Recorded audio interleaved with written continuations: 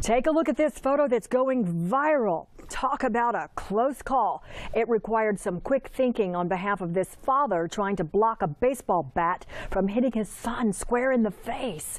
It all happened on sun Saturday at Disney's Wide World of Sports complex as the Atlanta Braves took on the Pittsburgh Pirates. News 13's Amanda McKenzie joins us now live from Marion County where she just spoke with the family about their near miss. Just amazing, Amanda. Yes, Marla. And you know, this was always supposed to be a memorable experience for eight-year-old Landon Cunningham. His dad was taking him to his first Major League Baseball game to see their favorite team, the Braves. But now Landon has a lot more to talk about at school other than peanuts and Cracker Jacks. He's bragging about his dad, his hero. Sean Cunningham and his eight-year-old son Landon love to play baseball.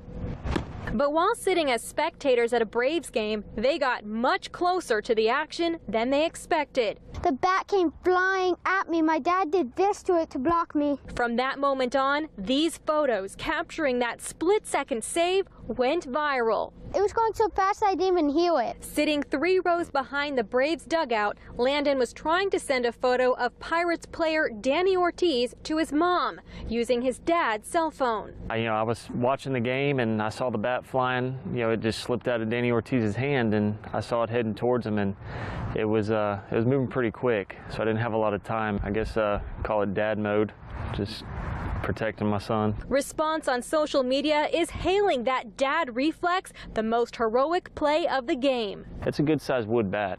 Um, it, it, definitely would have left a mark, you know, on an eight-year-old kid, especially in the face. Instead, Dad took the hit. It, it left a pretty good bruise and uh, mark, but um, it's getting better. Landon only felt the tip of the bat strike his shoulder as it flew over his head.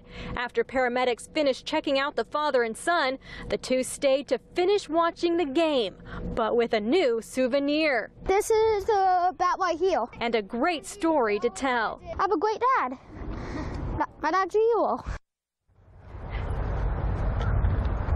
Now, the dad tells me despite the close call, he is very excited for his son to have such a memorable experience at his first Major League Baseball game. And he says they will treasure that baseball bat forever. And now they're just hoping to get it autographed by Danny Ortiz, the Pirates player responsible for that slip.